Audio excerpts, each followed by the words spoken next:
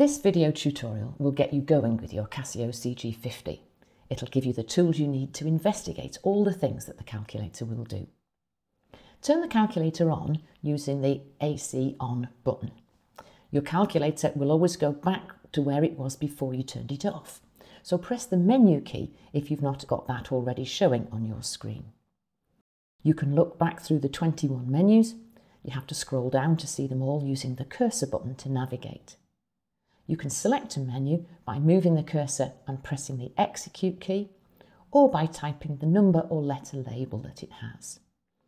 Within each menu, the keys F1 to F6 are labelled with on-screen menus that look like bricks across the bottom of the screen. In different menus, these keys will do different things.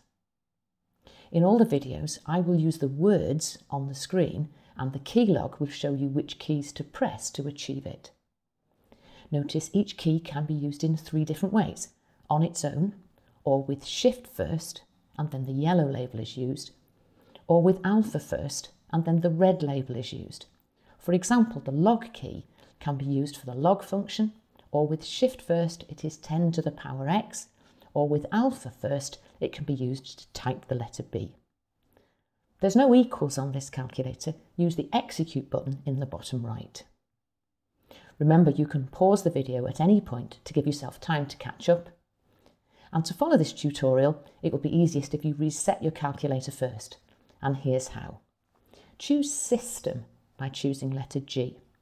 Each time you go to a menu, it returns to the place where it was before you left it. So if your screen doesn't look like this, press Exit as many times as it needs until it does. Notice the on-screen menu for Reset is F5. Choose Reset and notice the labels for F1 to F6 have changed. Choose F2 to choose Main here and you'll be asked to confirm your choice. So press F1 to confirm and you'll be asked to exit. You can always use exit to go back through the menu choices. Return to the menu screen and we will look at some of the keys and the menus in run mode. Select run mode by pressing 1. This is where you will do all your calculations. It's very similar to a scientific calculator. The display across the top of the screen shows the default settings. If these are not the settings you want, you can use Setup to change them. Remember to press Shift before the menu key as it is written in yellow. Type exactly what you see. There's a button for x squared. Use the power to type in the power 5 and then move the cursor to the right before typing in the plus.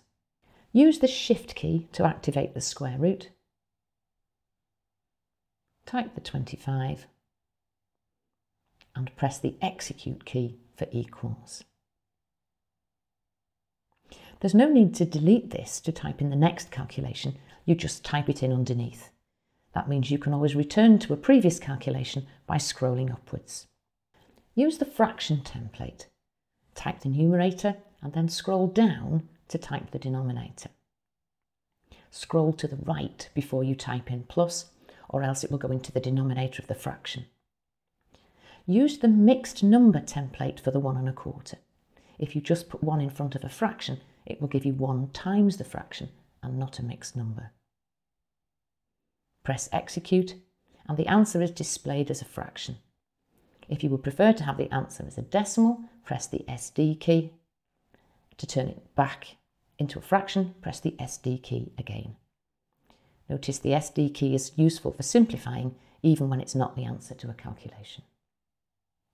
To simplify this surd, type root 48 and execute. To simplify the fraction, use the fraction key and type the numerator. And then use the cursor key down to type the denominator. After typing the root 3, you need to scroll to the right to avoid typing the square root of 3 plus 1. And now execute. You may notice there are fewer buttons on the CG50 than on your scientific calculator.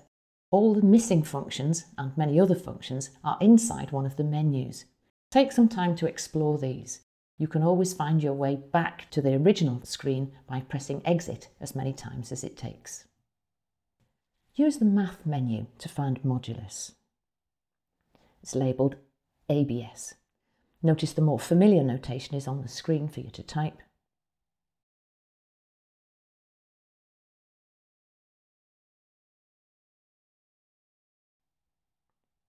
Logs are also on the Math menu, which is still open. Scroll across to type what you see.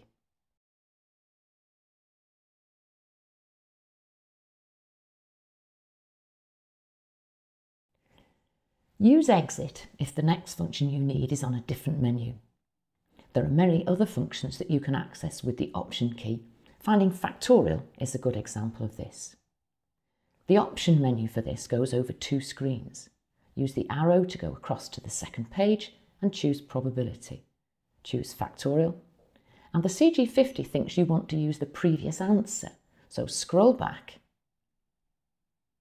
and delete answer. Put 5 in front of the factorial sign and execute. Press exit to go back through the menus to the top. I hope you now feel confident to explore some of the features of your Casio CG50. You can find video tutorials on many of the menus and many additional resources at education.casio.co.uk.